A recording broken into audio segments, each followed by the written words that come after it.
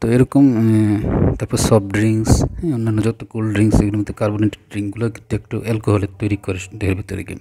আর ওগুলো সগিরা গুণা বা সগিরা গুণা হোক গুণা মানি আর না মানি, একটু একটু শরীরে বা রক্তে মিশে গিয়ে এটা কিন্তু একটা ইয়ার যেমন আমি অতিমাত্রায় কোল্ড ড্রিঙ্কস খেতাম সফট ড্রিঙ্কস তেমন খাইনি, কিন্তু বাইরের দেশে যে কোল্ড ড্রিঙ্কসগুলো খেতাম, ওটার মধ্যে অ্যালকোহলের কিছু পরিমাণ ছিল, বা কার্বোনেটেড মানে ডেন্সিটিটা বেশি ছিল।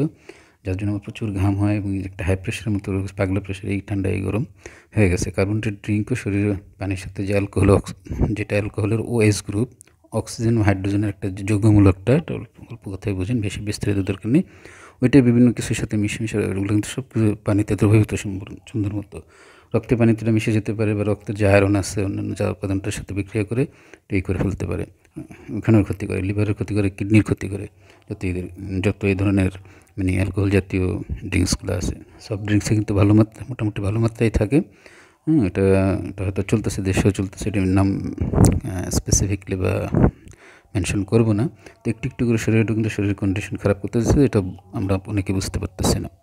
একটু একটু করে শুরু হয়। তো আমাকে গল্প মানে এই জন্য বলি এই হিসাবে নিজের সদিচ্ছাটাই যথেষ্ট।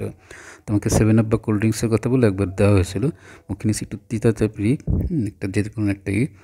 তো আমি সাথে সাথে আমি ফেলে দিয়েছি এবং তিন চার দিন ঠিক করে খেতেই পারিনি, ঠিক আছে? এটা হলো নিজের মনের সদিচ্ছাটাই অনেক যথেষ্ট মনে করি। হ্যাঁ আর তিনটা সেগ্রাম হলো একটা কবিরা গুণা, যে অল্প একটু গুণা হয় বা গুণা হয় না, এই দেখ বা এটা কিন্তু আস্তে আস্তে শরীর ক্ষতি এটা কিন্তু হয়েই যায়, ঠিক আছে?